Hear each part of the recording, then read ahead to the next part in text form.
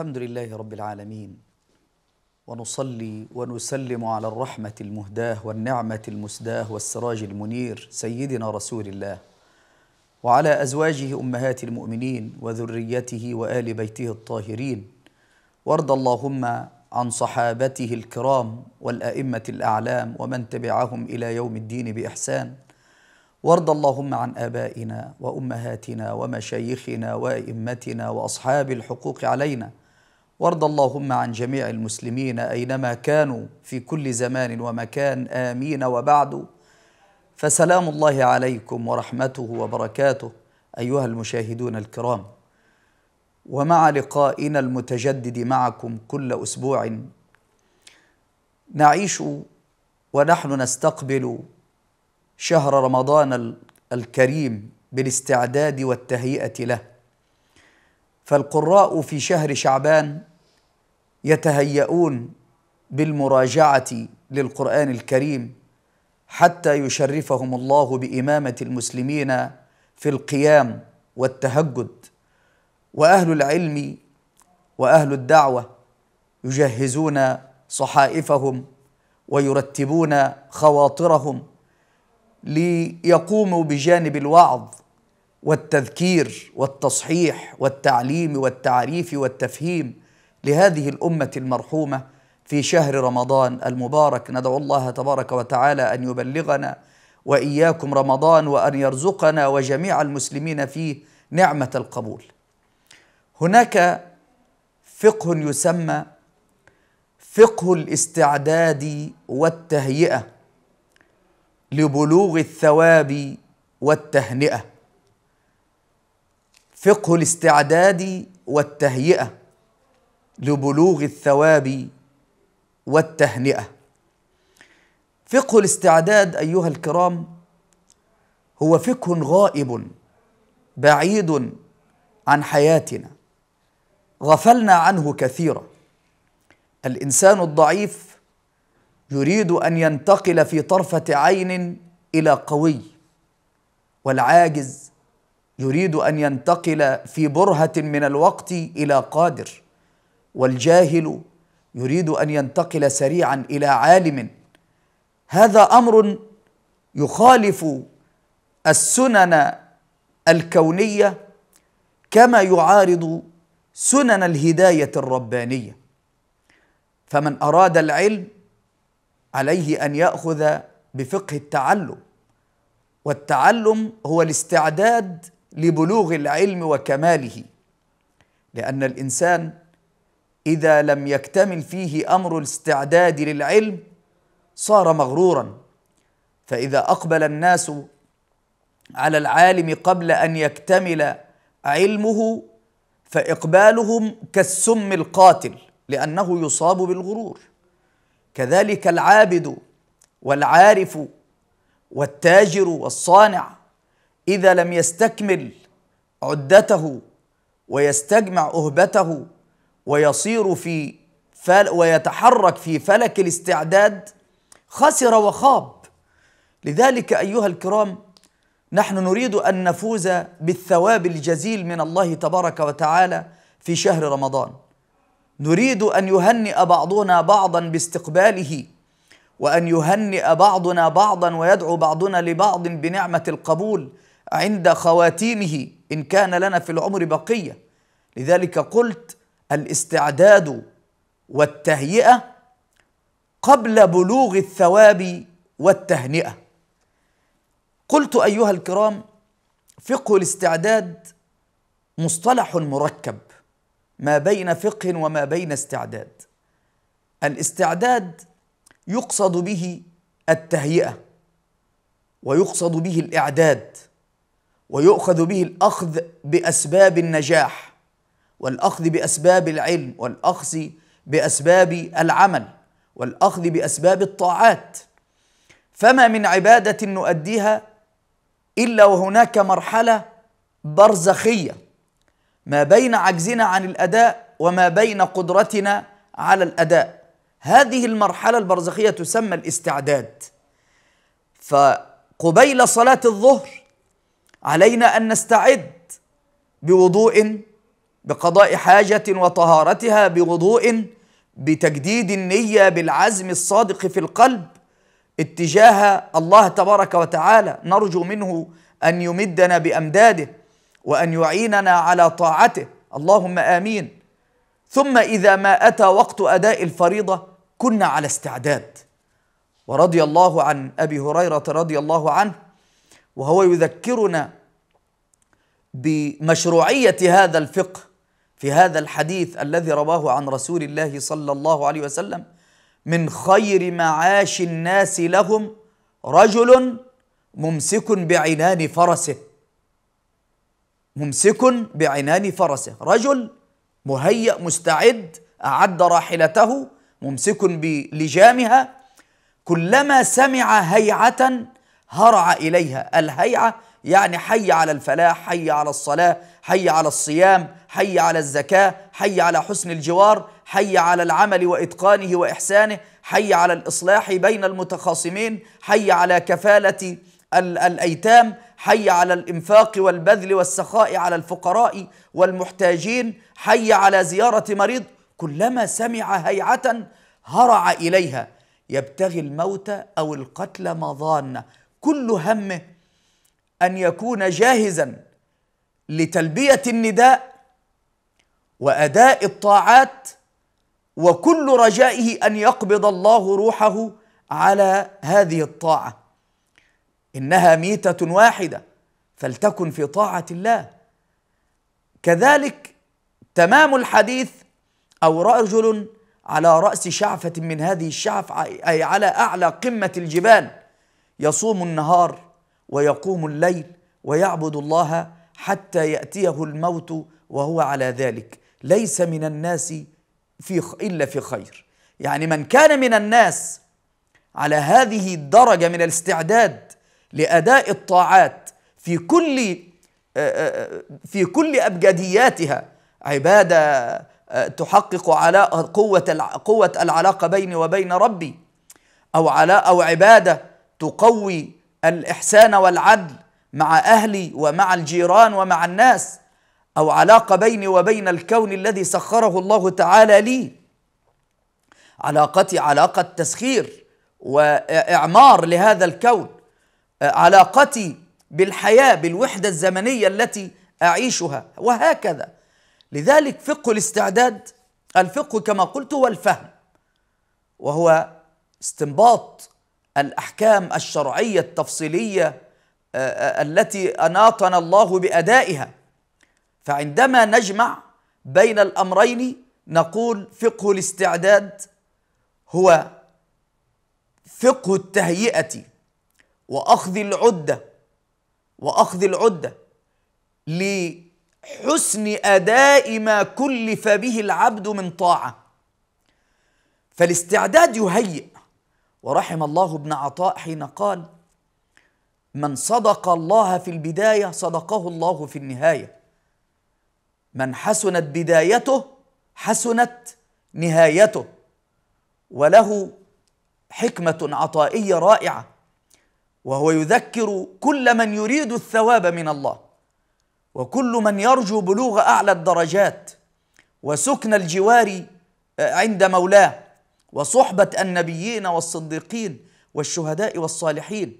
يقول رحمه الله من علامات النجح في النهايات الرجوع إلى الله في البدايات. الرجوع إلى الله في البدايات. العبادة معنى هذه الحكمة أن العبادة هي الأمر الوسط. لها مقدمة تسمى فقه الاستعداد والتهيئة ومن بعدها خاتمة. ما يسبق أداء العبادة؟ يدور في فلك الاستعداد. إذا قمتم إلى الصلاة فاغسلوا وجوهكم. والنبي صلى الله عليه وسلم علمنا في الحديث الصحيح إنما الأعمال بالنيات. نية المرء خير من عمله. فالنية العمل بالنية. هذه مقدمة. والنية هنا أيها الكرام تجمع بين ثلاثة أمور. حتى أكون على استعداد قوي لتنفيذ المطلوب من العبادة لابد أن أحقق ثلاثة عناصر رئيسة في النية. صحيح أن العلماء يقولون النية هي القصد وبعض علماء الاصطلاح الفقه يقولون قصد الشيء مقترنا بفعله. لكن عند بيانها نجد أن لها عناصر ثلاثة. العنصر الأول وهو ما يتعلق بقصد الفعل. الله أمرني بالصلاة أمرني بالزكاة أمرني بالصيام أمرني بالحج أمرني بحسن الجوار. قبل هذا القصد لابد أن أكون على علم بهذا الفعل. علم بكيفيته علم بالمقصود منه علم بالثمرة المرجوة من ورائه. لذلك كمال العبادة دائما يقولون هي علم وخشية علم ومعرفة في البداية والنهاية هي خشية من الله جل وعلا. قد أفلح المؤمنون الذين هم في صلاتهم خاشعون. فيقولون العنصر الأول يتعلق بقصد الفعل أي الصلاة. العنصر هذا القصد يسبق العمل بوقت يسير أو يقترن مع الدخول في أداء العبادة. عندما أقول أو أريد صلاة الظهر أقول الله أكبر نية أداء الصلاة مقترنة بتكبيرة الإحرام. قصد الفعل ينتهي مع تكبيرة الإحرام. ثم يبدأ العنصر الثاني من العناصر الثلاثة. عنصر قصد الكيفية أي كيف أداها رسول الله صلى الله عليه وسلم. لذلك النبي علمنا ونحن على استقبال رمضان صوموا لرؤيته وافطروا لرؤيته.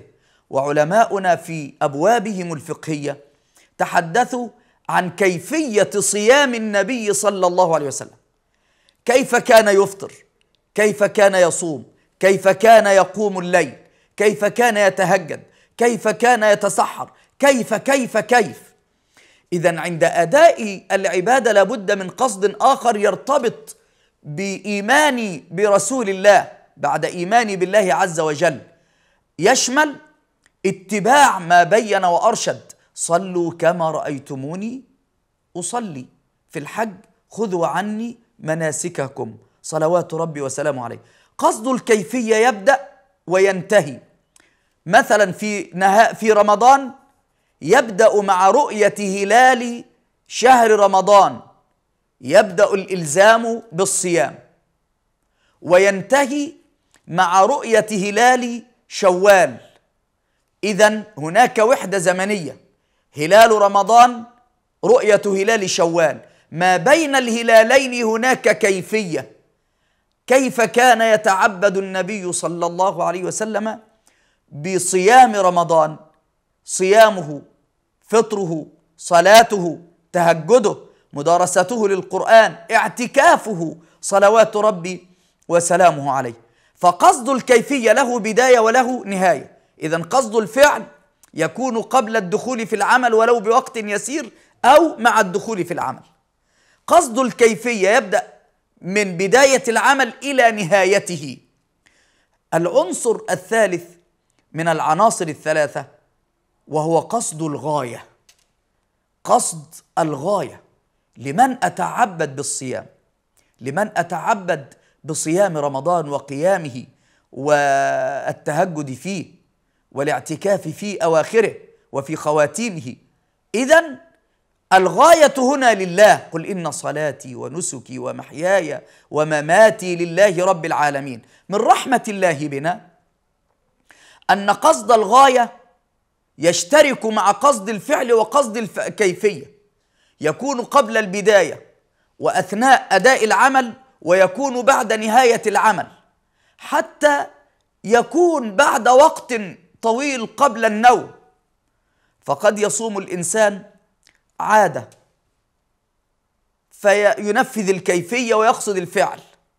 لكنه قصد أن هذا الصيام عادة كالناس. الناس بتصوم فهو يصوم كما يصوم الناس. لكن عندما وقف مع نفسه قبل نومه راجع نفسه. هذا ما يسمى بفقه الاستدراك وهذا سنتحدث من عنه بعد قليل. هناك استدراك هناك استغفار هناك محاسبة هناك تجديد نية. اذا هو يستعد لأداء الفعل ثم ينفذ الفعل إلى المرحلة الوسط ثم يستدرك إذا كان هناك جانب من التقصير. لذلك أقول أيها الكرام فقه التع... التع... الاستعداد وأخذ العدة والتهيئة قبل أداء العمل أمر لازم لأنه ما لا يتم الواجب إلا به فهو واجب. فلا يتم كمال العبادة في أدائها إلا إذا سبقها الاستعداد والتهيئة لها. وإلا لما قال ربنا جل وعلا ونحن في صلاة الجمعة يا أيها الذين آمنوا إذا نودي إذا نودي للصلاة من يوم الجمعة فاسعوا إلى ذكر الله وذروا البيع. إذا هناك سعي وهناك ما يسمى بالتهيئة العقدية والتهيئة النفسية والتهيئة البدنية. خذوا حتى التهيئة في الثياب خذوا زينتكم عند كل مسجد. وهكذا. إذا فقه الاستعداد فقه لازم وضروري. ضرورة حياتية كما أنه أيضا فريضة شرعية. ضرورة حياتية حتى للتجارات. هل يجوز لإنسان أن يتاجر إلا إذا أخذ بفقه الاستعداد للتجارة؟ وكان على دراية بعلم التجارة وأحسن دراسة الجدوى ونظر إلى ما يهم المجتمعات من سلع وتجارات. كذلك صاحب المهنة لا يقيم آه، آه، مكانا لمهنته في مكان يكثر فيه أصحاب المهن وإنما يذهب إلى مكان الناس يحتاجون إليه ويدرس ويكون على علم بهذه المهنة. كذلك إذا كان طبيبا آه، لا يكون متطببا يعني يدعي الطب. فمدعي الطب شيء والطبيب الحاذق كما قال ابن القيم رحمه الله الطبيب الحاذق هو الذي يكون على دراية بأكثر من عشرين مرض على علم بأسبابه وأعراضه وعلى علم بوسائل الاستشفاء, الاستشفاء منه. هذا هو الطبيب. إذا حتى في قضايا القضايا الكون لابد من الأخذ بفقه الاستعداد والتهيئة. التهيئة النفسية والتهيئة المعنوية والتهيئة المادية والتهيئة المعرفية والتهيئة العلمية. ومن ثم كان علماء الأصول الكرام عندما تحدثوا عن الحكم التكليفي قالوا بأن للحكم التكليفي أركان أربعة. الحاكم وهو الله جل وعلا في قرآنه والبيان في سنة النبي صلى الله عليه وسلم المحكوم فيه وهو الفعل الصلاة الصيام الحج آه، آه، قضايا الحياة البيع الشراء.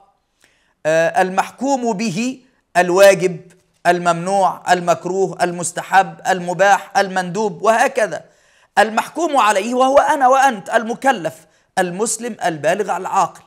فقالوا متى يجب على المكلف تنفيذ الفعل الذي أمر به؟ قالوا لابد من أن تتوفر فيه عدة شروط.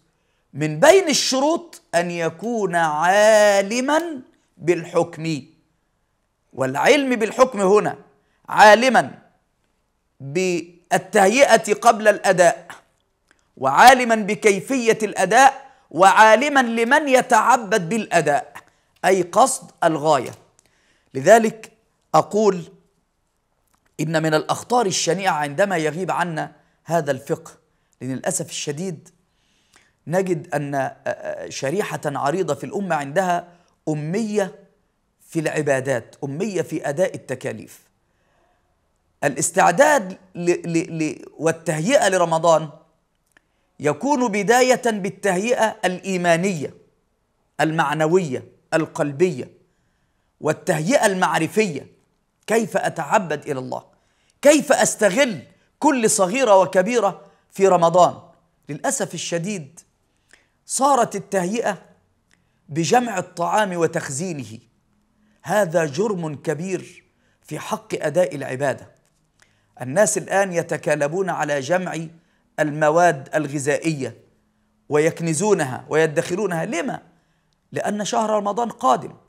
وهل شهر رمضان للإكثار من الطعام والشراب؟ أم أن شهر رمضان يقيم توازنا؟ يقيم توازنا. الإنسان يعيد لنفسه برمجة حياته.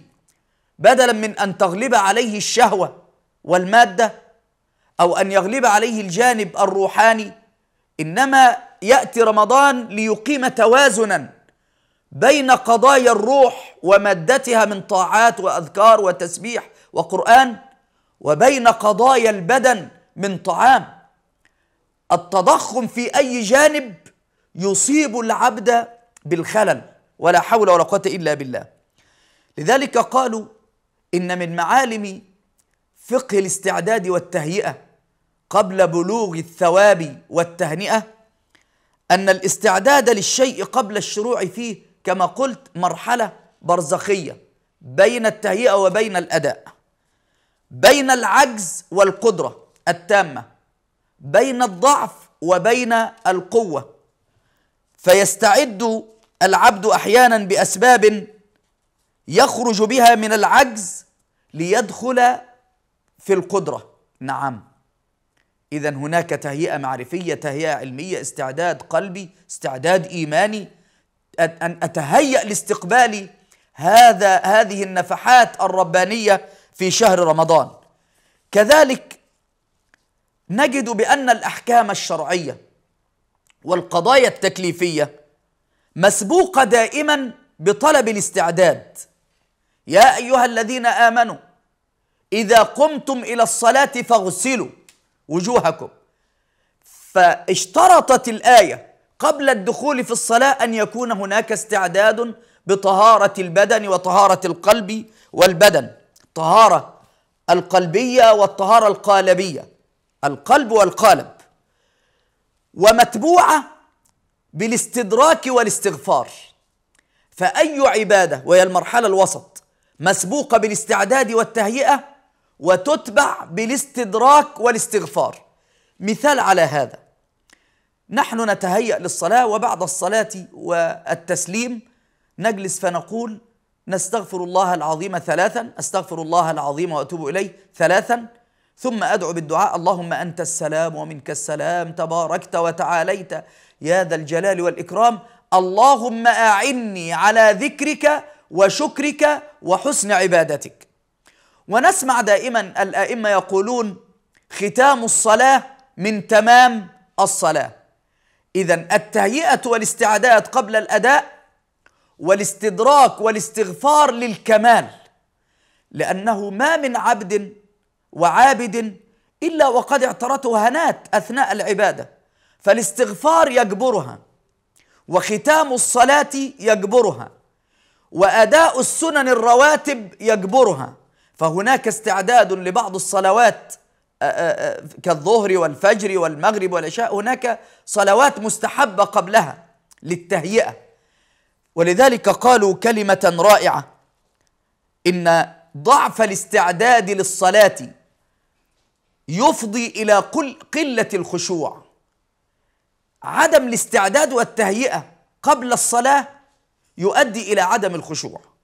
كما أن عدم الذكر والاستغفار يورث الاغترار ولا حول ولا قوة إلا بالله. أيضا في بعض الأمور التي تؤخذ على عدم وجود فقه الاستعداد والتهيئة حتى في أواسط المؤتمرات العلمية ومناقشات بعض القضايا الضرورية لحياة الأمة تجد أهل البحث والنظر أو الحضور عدة أصناف. صنف يدعو إلى الاستعجال والنفير وصنف آخر يدعو إلى الفتور والاسترخاء وصنف ثالث يميل إلى الاستبطاء والاكتفاء بالدعاء وصنف آخر وهو الأخطر يجلس على رأس التل ليس عنده إلا الانتقاد. لا يعجبه شيء. إذا هناك فريق يستعجل للنفير فريق يصاب بالفتور والاستخ... يريد أن يصيب الأمة بالفتور والاسترخاء فريق ثالث يميل إلى الاستبطاء والاكتفاء بالدعاء. فريق رابع وهو الأخطر يجلس على رأس التل ينتقد وفقط. هذا جرم كبير. سببه هو عدم العج هو عدم الأخذ بفقه الاستعداد والتهيئة. بفقه الاستعداد والتهيئة. وعدم العلم بفقه الاستدراك والمراجعة والاستغفار. لذلك نجد أنه في العهد المكي والعهد المدي والمدني العهد المكي كان فيه استعداد وتهيئة لأمر خطير. الأمة ستهاجر وبعد الهجرة ستكون هناك مواجهات بين راية الكفر وراية الحق بين رايات الكفر والشرك وبين راية الحق. إذا كان لابد من الأخذ بالاستعداد والتهيئة. لذلك قالوا النبي صلى الله عليه وسلم بالقرآن وببيان السنة رب الأمة في العهد المكي على دفع الخطر والضرر بالاستعداد. رباهم على دفع الخطر والضرر بالاستعداد. وعلى تحصيل المصلحة والخير بالاعتماد أي الاعتماد على الله. هذا كان في العهد المكي. دفع الخطر والضرر بالاستعداد وعلى تحصيل المصلحة والخير بالاعتماد. نعم الاعتماد على الله. ودفع الضرر بالاستعداد والصبر وكان يبشرهم وهم مؤمنون بهذه البشريات. سيهزم الجمع ويولون الدبر في مكة. لم يحدث إنما حدث في المدينة. سيدنا خباب بن الأرت رضي الله عنه وأرضاه يأتي ويشكو للنبي صلى الله عليه وسلم تعذيب سيدته له ويد ويطلب من حضرة النبي صلى الله عليه وسلم أن يدعو لهم بالنصر. ألا تستنصر لنا؟ فالنبي صلى الله عليه وسلم يقول له لقد هلك من كان قبلكم إلى آخر الحديث وفي ختامه يقول والذي نفس محمد بيده ليتمن الله هذا الأمر حتى يسير الراكب من صنعاء إلى حضر موت لا يخشى إلا الله. وزاد الراوي والذئب على غنمه ولكنكم قوم تستعجلون. إذا كان هناك استعداد في في المدينة وأعدوا لهم ما استطعتم من قوة ومن رباط الخيل لم يقل من قوة فقط وإنما عندما أتى التفصيل أو القيد بعد العام إذا هناك أنواع للقوة. القوة العقدية القوة الاقتصادية القوة المعرفية والعلمية القوة البحثية والنظرية ومعرفة أحوال الأمم. كذلك القوة في العتاد والعدة القوة العسكرية.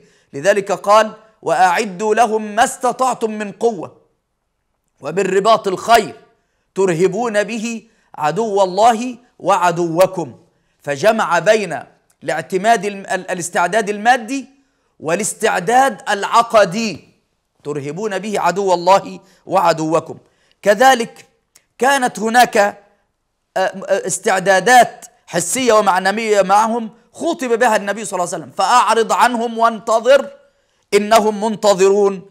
وكان في هدي القرآن وهو يتحدث عن سيدنا داود ولقد آتينا داود منا فضلا يا جبال أوبي معه والطير وألنا له الحديد أن اعمل سابغات وقدر في السرد واعملوا صالحا إني بما تعملون بصير. الأمة أيها الكرام تحتاج إلى الاستعداد لاستقبال هذا الشهر الكريم. عقديا ومعرفيا وماديا وكل رجائنا أن يرزقنا الله وجميع الصائمين والموحدين نعمة القبول. اللهم يا حي يا قيوم لك نصلي ولك نصوم وبك نقعد وبك نقوم.